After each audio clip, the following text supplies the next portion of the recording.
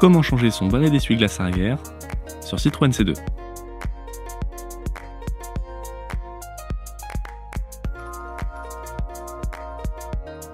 Commençons par soulever le balai d'essuie-glace et basculer légèrement le balai.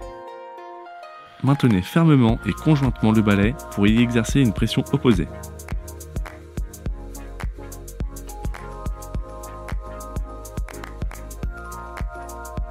Sortez le balai perpendiculairement au bras. Comparez les dimensions du nouveau balai d'essuie-glace avec l'ancien.